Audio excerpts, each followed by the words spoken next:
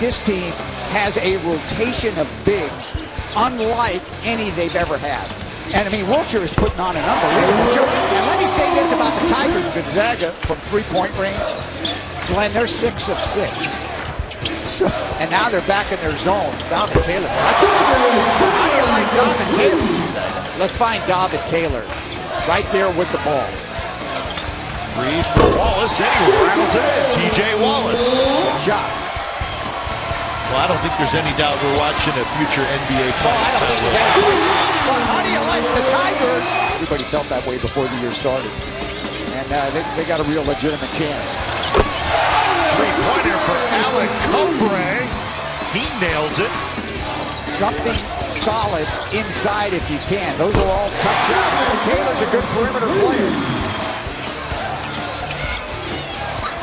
fact, it's a team, Dan, and all the great years they've had, they've been to the Sweet 16 a handful of times, never been to the Final Four. And this year may be their best opportunity.